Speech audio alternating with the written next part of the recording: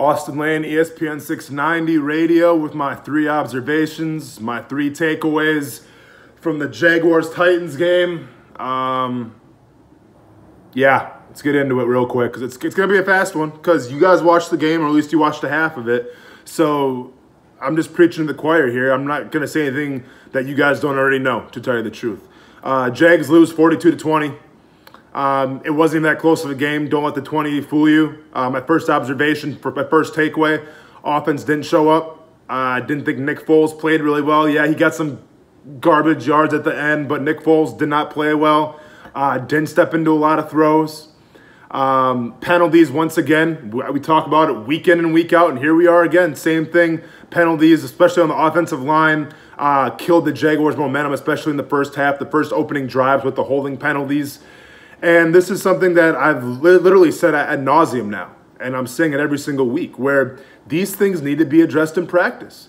And it's nothing physical. It's the fundamentals. It's teaching your linemen how to block, basically, how, how to recover when, when a guy gets the advantage on you. And week in and week out, I watch the Jaguars play, and I watch all offensive linemen hold, and I watch them kill the drives. And unfortunately, the Jaguars' offense is not good enough to come back from those pen- from those penalties. They're, they're drive killers, and the offense is not good enough to respond from that. So the offense in general, especially Nick Foles, you know, Leonard Fournette had two touchdowns. Good to see him get in the end zone, but once again, when we're talking about the second half, the, the Titans were just in kind of, you know, playback mode. Um, just not a good look for the Jaguars offense in general. My second uh, takeaway, my second observation, here we are again. Back to back to back, Tommy Namsky, 200 yard rushings against your opponent.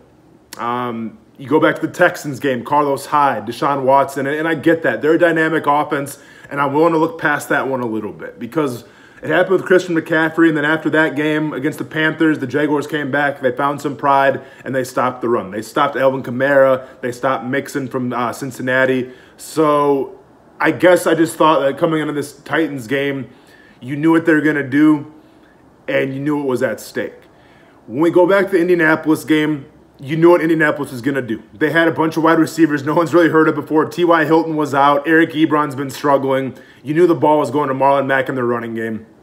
And the Jaguars knew it too. And guess what? They couldn't stop it. So now let's enter the Tennessee Titans game. You know Derrick Henry's chomping at the bit to get going. You know you got to shut down their running game. And I get it. Ryan Tannehill's back. Uh, you know, with this new offense and everything. Corey Davis is like back from injury. So they have wrinkles now. They have play action. But this is the Tennessee Titans. You know it's going to be a physical game. You know they're going to try to own the trenches. And if you're the Jaguars defense, you knew that coming in. And guess what? You knew it and you couldn't stop it. You, you got outmanned. Um, you lost in the trenches, I think, on both sides of the ball, but especially on defense. You lost in the trenches. And the Titans basically had their way with you. And me personally, I'm sick and tired of watching these games and watching these running backs, whether it's Henry, Carlos Hyde, Williams from the Colts that nobody knew about until they, they played the Jaguars. I'm sick and tired of watching these running backs have their highlight video moments against the Jaguars. And this was no difference again. Derrick Henry, 70 yard run. And listen, I could sit here and say, uh, Taven Bryan's got to, you, you, can't cheat the gap. You got to stay with your gap discipline. Uh, the linebacker's got to fill off you. He's got to see it. Safety's got to come down and help you on that play. But you know what? This is a, it's an entire collective. I just can't sit here and nitpick.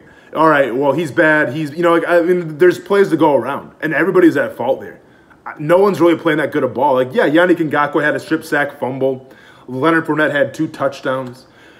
But as a collective offense and defense, and even on special teams, guys are not playing well.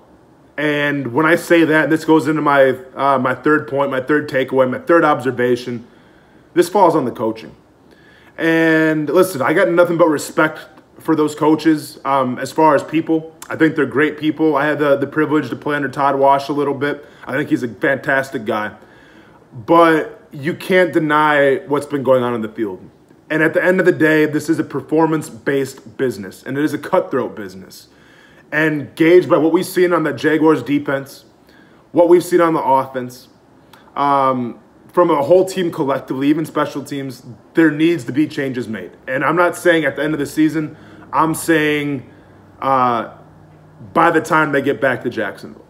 And listen, I, it's never easy for me to sit here and say I want someone you know fired from their job because getting fired sucks. I'm sure we've all been there, and it's not a good thing. But at the end of the day, like I said, this is a performance-based business, and right now, uh, the Jaguars are not performing. And I think if you're Shad Khan, if you're that front office, you owe it to Jaguars fans who are trying to find something to grasp onto right now.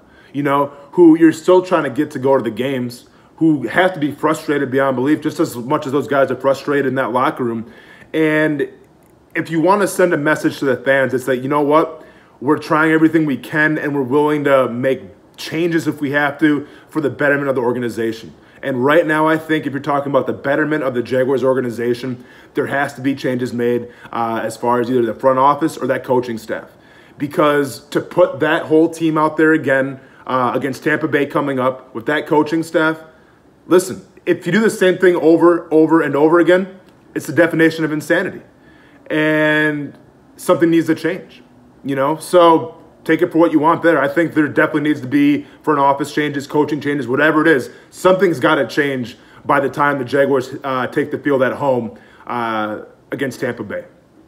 And that's basically all I got for you guys. They got beaten three phases. Uh, nothing really to uh, positive to talk about. Pay Yan, I guess. Been preaching that since day one, but his price is going to keep on going up and up and up now with every strip sack. But Pay Yan, and uh, we'll see you guys Monday for the ESPN 690 radio show. Have a good one.